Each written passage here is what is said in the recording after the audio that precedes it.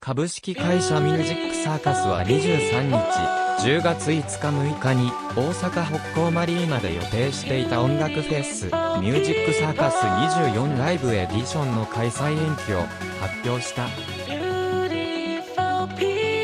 同フェス公式サイトなどで理由について大規模な豪雨災害が各地で多発していることや9月上旬の栃木県真岡市のフェス会場での落雷による小事故の報道を受けて慎重に検討を重ねましたが運営側の準備が十分に行き届かないと判断いたしましたと説明。